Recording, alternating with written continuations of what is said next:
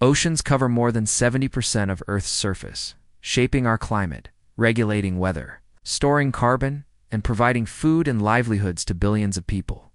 They are the very lungs of our planet, quietly absorbing carbon dioxide, producing oxygen, and keeping Earth habitable, yet beneath their glittering surface.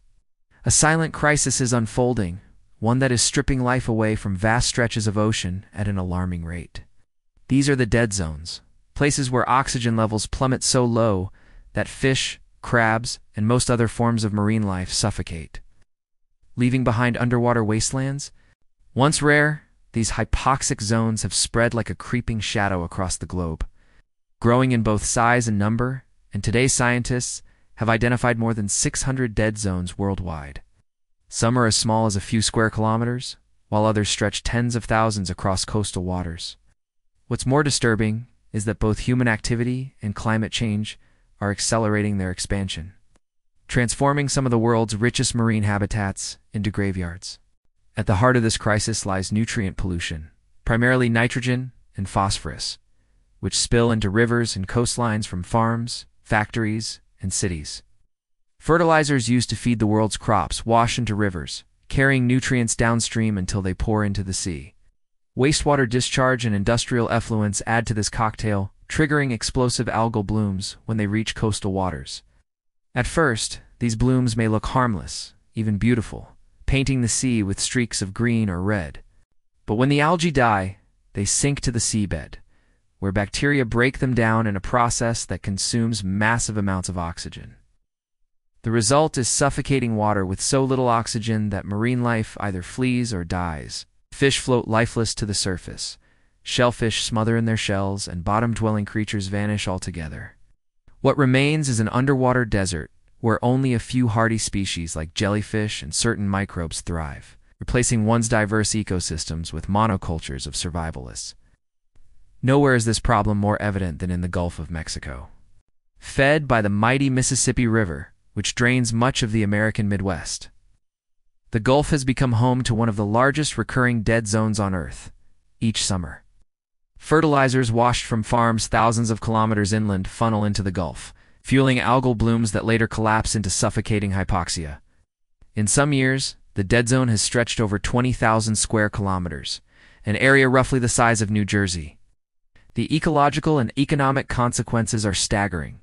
Shrimp, a cornerstone of the Gulf's seafood industry, are forced to migrate away from low-oxygen waters, reducing catches and forcing fishers to travel further offshore at higher costs. Commercial fisheries, coastal businesses, and seafood supply chains all feel the pinch. While local communities whose livelihoods depend on these waters face devastating uncertainty. And this isn't just an ecological problem, it's an economic one that reverberates through industries, from seafood processors to tourism operators, costing billions each year. But the Gulf of Mexico is far from alone. The Baltic Sea, bordered by multiple countries, is one of the most oxygen-deprived seas in the world. Agricultural runoff, coupled with limited water circulation, has left vast swaths of the seabed lifeless. In the Black Sea, hypoxia once killed off nearly all bottom-dwelling life until international cooperation reduced nutrient inputs, though the ecosystem has never fully recovered. Closer to the United States, Chesapeake Bay, America's largest estuary, regularly experiences summer dead zones that choke one of the nation's most iconic blue crab fisheries. Even the East China Sea, fed by the nutrient-rich Yangtze River, has seen massive hypoxic events linked to both agricultural and industrial discharges. The message is clear. This is not an isolated phenomenon, but a global crisis that respects no borders. Even once pristine regions are now vulnerable as climate change and human activity collide to spread hypoxia into waters once thought safe. Climate change acts as an accelerant to this underwater disaster. Warmer oceans hold less dissolved oxygen, meaning that even without pollution, marine ecosystems face suffocation. Stratification, where warm surface waters sit atop cooler, Deeper waters further reduces mixing and oxygen replenishment in the depths. Meanwhile, intense storms and floods, supercharged by climate change, wash even more nutrients into rivers, superfeeding algal blooms. Rising seas reshape coastlines, altering water circulation patterns and making ecosystems more fragile. In short, climate change is loading the dice against marine life, turning seasonal dead zones into permanent ones and threatening to expand hypoxia into deeper offshore waters that were once beyond its reach. The ecological consequences of expanding dead zones are catastrophic. Marine food webs unravel as oxygen vanishes. Tiny plankton, shrimp, and juvenile fish perish first, stripping the base of the food chain. Larger predators like cod, tuna, and dolphins either starve or are forced to migrate, creating cascading effects throughout the ecosystem. Coral reefs and seagrass meadows adjacent to hypoxic waters also suffer, weakening biodiversity further. In many cases, the vacuum left by disappearing species is filled by jellyfish, which thrive in low-oxygen environments and outcompete fish for food. Entire ecosystems shift toward these oxygen-tolerant creatures, fundamentally altering the balance of life in the sea. Biodiversity loss also weakens vital ecosystem services. Natural water filtration, carbon storage, and storm protection provided by healthy marine systems are all diminished, leaving coastal communities more vulnerable than ever.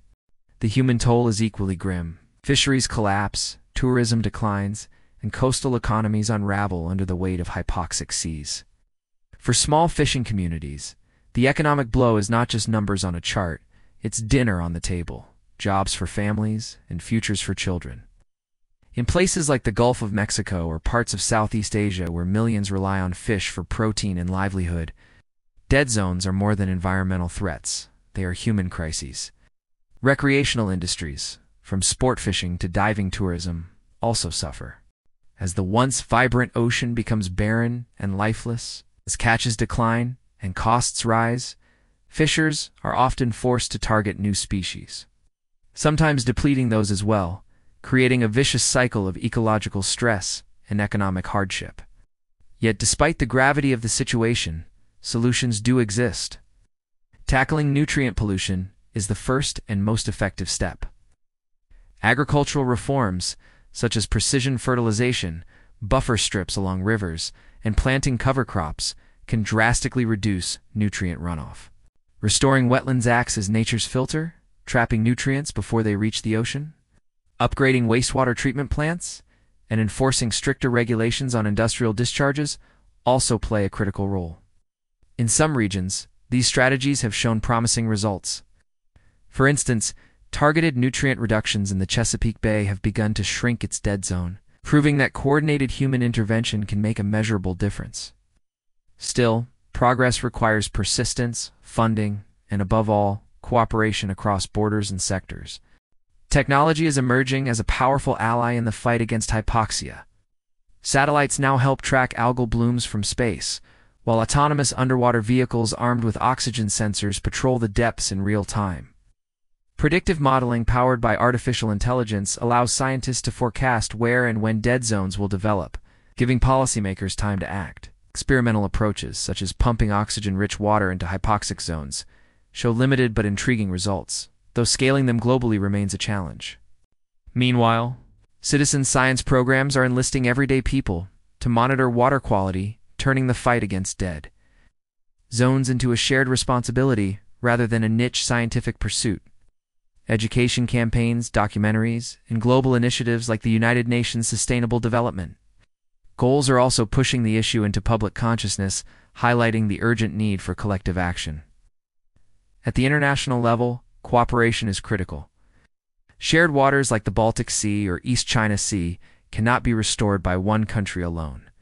Only through regional partnerships, shared data, and joint policies can progress be made.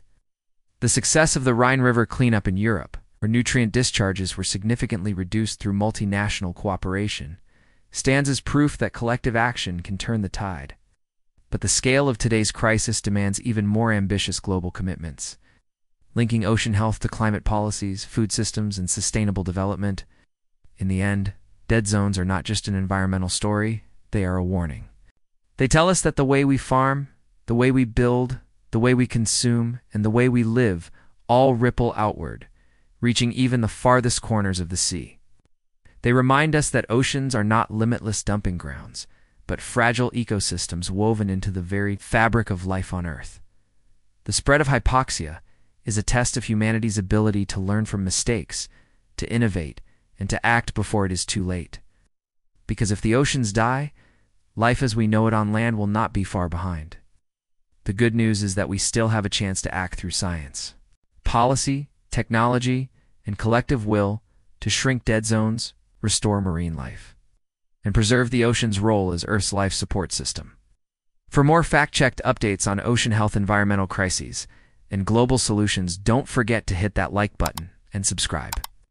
The ocean story is our story, and it's one we cannot afford to ignore.